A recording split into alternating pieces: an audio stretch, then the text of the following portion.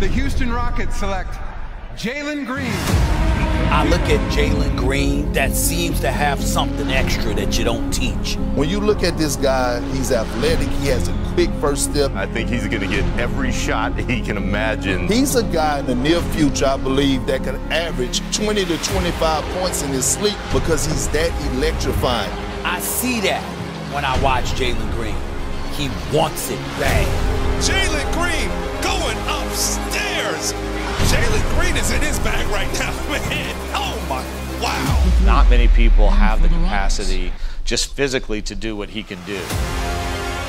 Jalen works. That was his reputation coming into the draft. It all starts with his work ethic.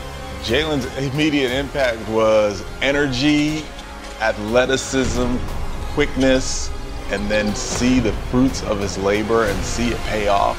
For a 19 year old to come in with that work ethic, I mean, the sky's the limit, really.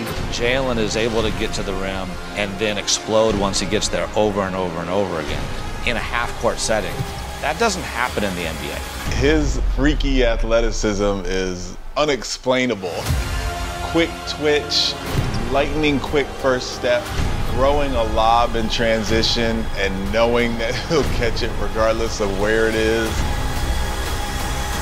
He can do a little bit of everything. He can shoot the three. He can get to the rim. He can shoot the mid range. His defense has come such a long way. And the second half of the season, as he's really settled in, you've seen this dynamic player who's a very good one on one defender. He's in the top of the league as far as defending isolations. And a good help side defender, and cracks back for rebounds, and is dynamic in transition, and is one of our go to guys offensively. I think the league is on notice. In a short period of time, from the time he turned from 19 to 20, imagine what it'll look like from 20 to 23. I think the sky is the limit to where we can go with him as really our core element. He's playing great basketball for us. What a great leader he has the potential to become.